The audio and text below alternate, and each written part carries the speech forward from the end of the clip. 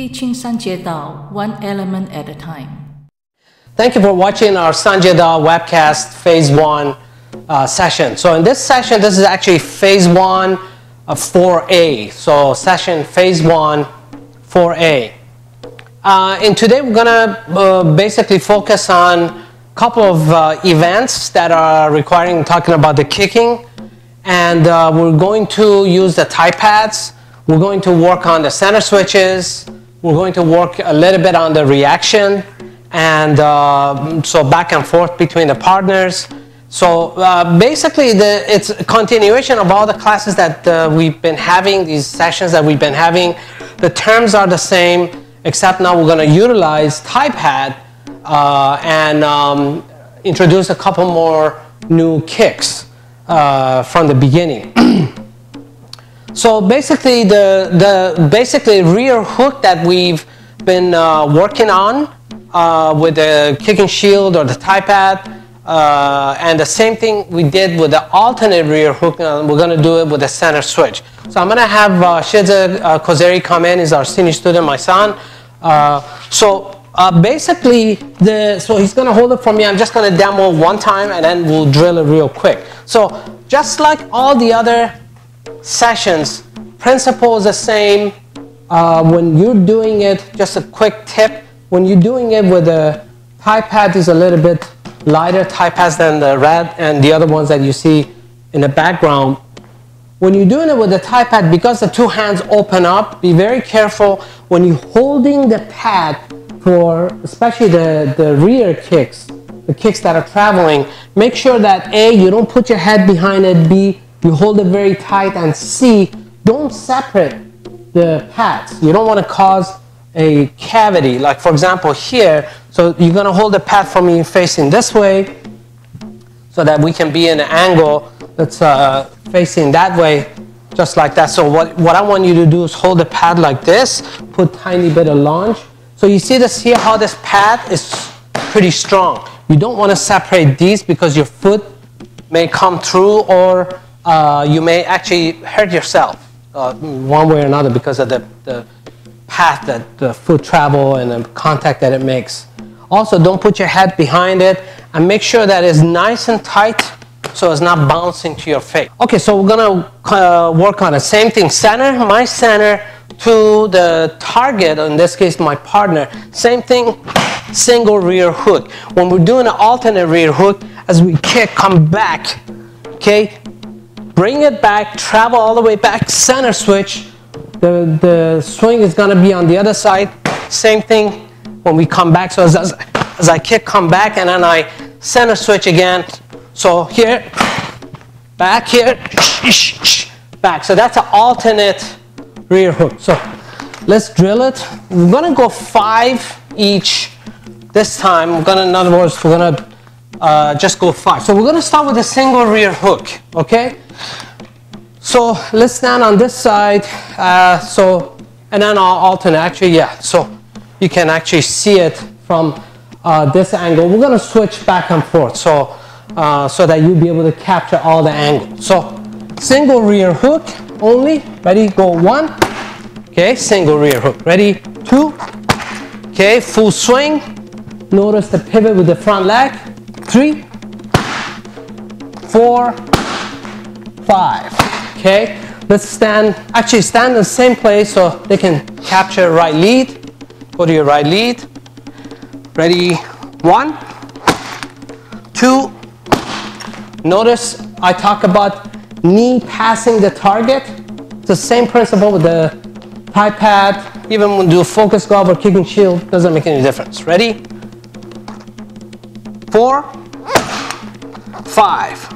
Now we're gonna do alternate rear hook, the one I just showed with the center switch. So one left, one right. Ready, one. Good. Ready, two. Three. That's it. Four. Five. Okay. Let's do a, let's Mm, do about three from starting from the right side. Let's switch. Angle here. Go to your right lead. Same principle, except we start with the right lead, okay? When the note on the trainer, meaning the person who's holding the pad, try to be, again, behind the pad, hold the pad and then just swing it. In the beginning, I've noticed when we have phase one students, never did any kind of training, they do this. They kind of do a lot of foot switches. They go back and forth. You don't need to do that. So basically, just hold it from here, swing, back, back. All you got to do is pivot in your leg. Gets the pad on the other side much faster. We can get the, get the show going much quicker. All right? So, okay, ready? One,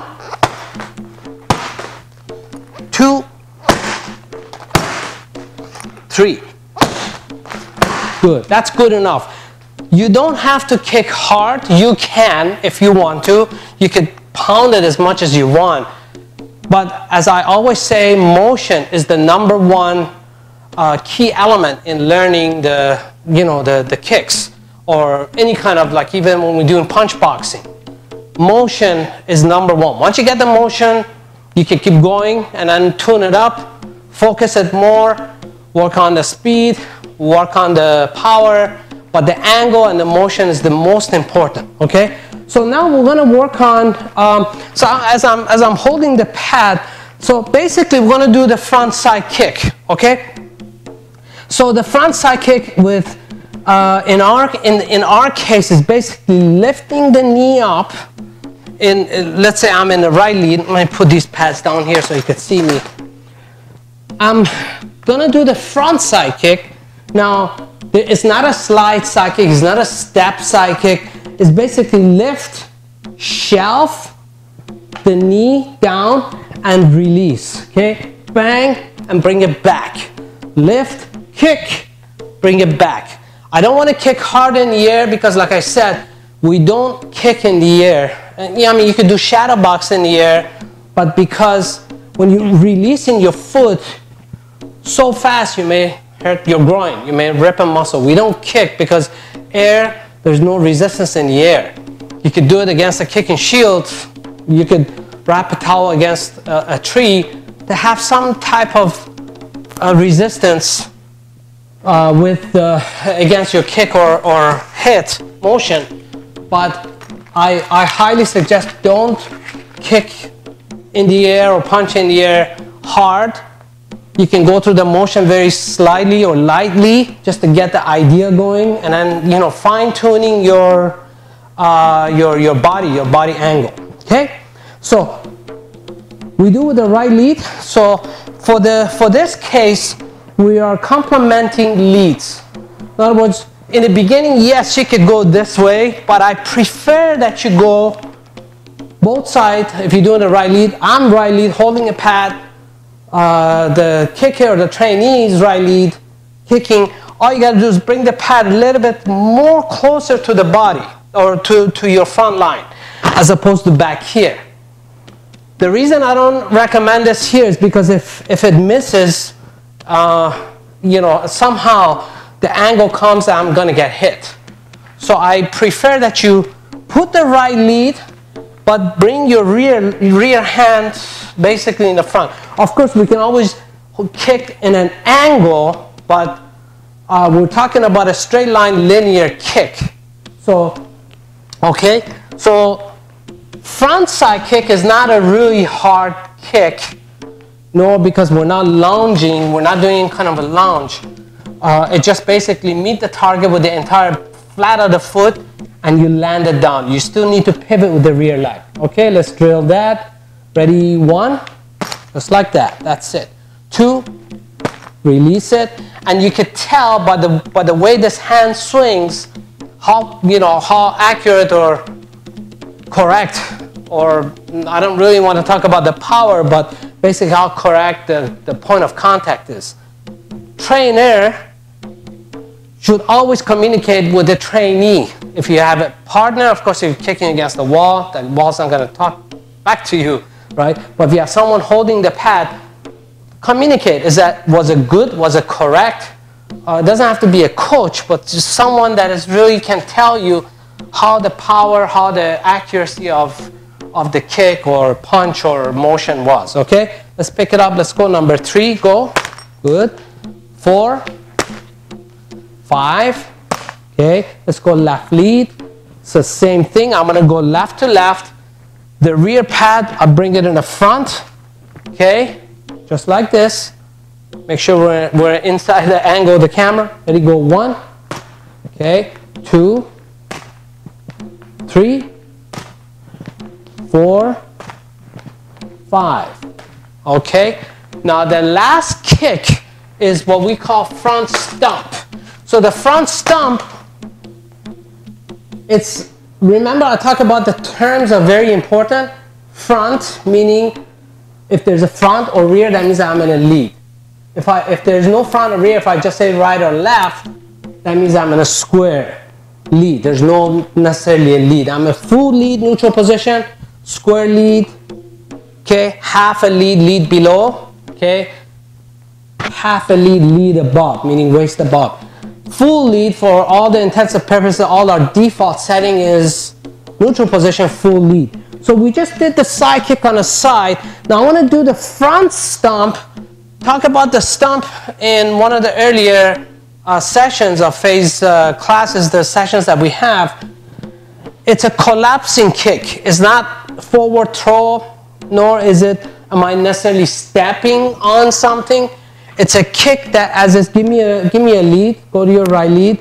So as you give me some angle here, so uh, this angle as I kick, okay?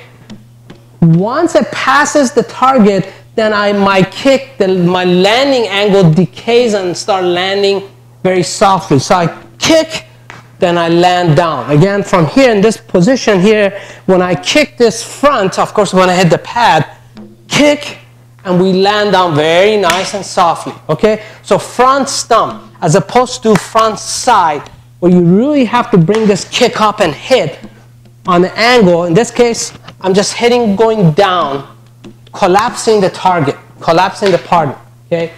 Or collapsing the uh, opponent, but collapsing really mainly is, is our pads.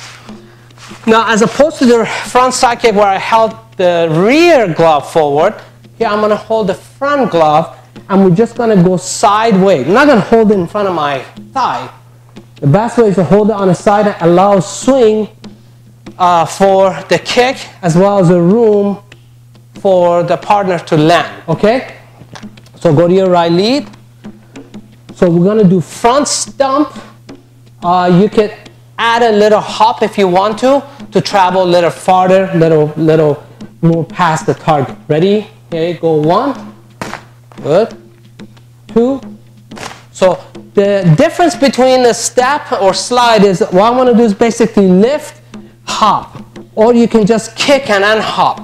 Or if you, in the beginning, if you, if you haven't got the hop down, just kick and then land back. Here, kick, land back. Once you understand the hop mechanism, hop kick, compound footwork to kick is, is the best way to execute the kick. So we lift and land, and then we add a hop to it. Ready, go, kick, good. Ready, go, good. And reset back so that we're back into our range. Ready, five, okay, six. Okay, ready? So we're gonna work on the left lead. Ready, one. Okay, good. Two. Okay, three. Okay, four. Go one more, last one, ready, go. Okay, good. So rear hook, alternate rear hook with a center switch. Quick note about center switch, very quick. When I kick and bring it back, okay, my kick back, I center switch, lift both the heels up. I'm not scraping the floor. I'm lifting the heel up, center switch, and I'm not regressing, uh, advancing, sidestepping. I try to maintain my position, the center of my angle, my body, the center of my body, position to the target so that, because the target is this, I'm gonna hit two times, I'm gonna kick, bang, bang, come back. If the target moves, then yes, I would have to compensate. But this is a static drill, meaning the target isn't getting far from me or getting close to me. Target is not moving. Target is there. I just want to clobber it. One time on the right side, my right side, one time on the left. So center switch, work on that center switching here, right lead, left lead here, back and forth. Maintaining your angle, your center, your body to some target. Work on that center switch. Alternate rear hook. And then we talked about the front side kick, lift and land and back. Here, lift, kick, back. left land, back. To, uh, you know, to the to the target, which would require you to pivot. Then we do the front stomp, so it's a hop. Initially, you can just hit it and land back, but to travel beyond the target, you have to basically carry yourself. Here, go. So I carry myself with a hop as I as I enter the, the target zone has the target.